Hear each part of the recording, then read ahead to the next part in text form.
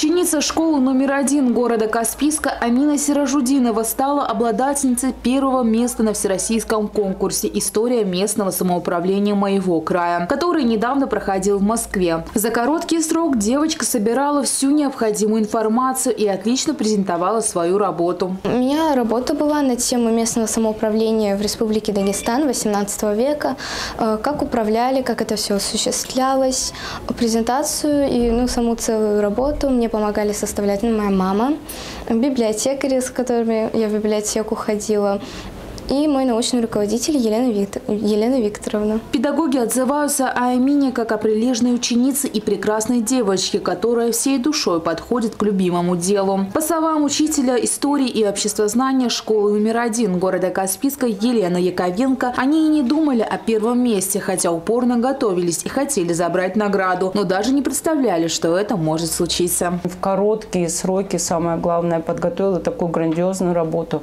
которую похвалили и и даже восхищались не только э, учащиеся, которые участвовали в этом конкурсе, восхищались даже руководители научные, которые прослышали и хотели познакомиться с такой необычной, талантливой девочкой. Я была очень восхищена ее работой.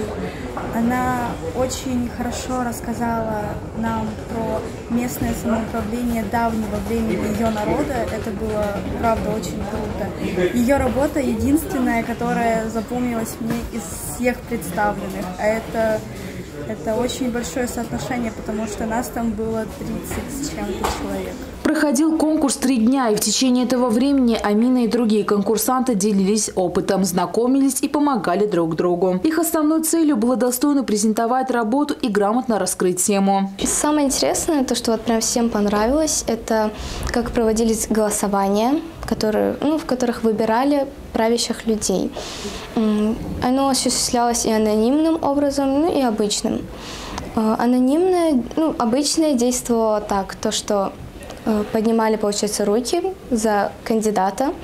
И побеждал тот, кто набрал наибольшее количество голосов. Но если случалось так, что количество голосов было равное, пользовались жребием. Это в папаху, в головной убор мужской, клали камешки из глины с именем кандидата. Любовь к истории зародилась у Амины еще в раннем детстве, когда папа принес домой книги об истории Египта. Она погрузилась в изучение параграфов. Я очень хотела бы на учителя работать, учителем работать, но, скорее всего, я пойду на юридический, это тоже связано с историей и обществознанием.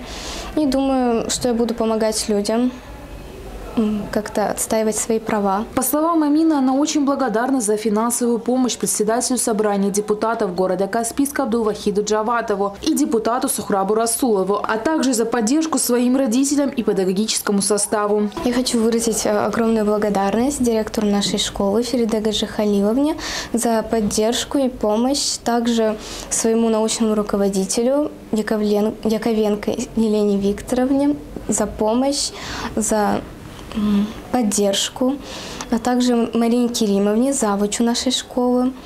А, также хочу поблагодарить всех тех, кто поддерживал меня, поблагодарить э, тех, кто поддерживал меня финансово.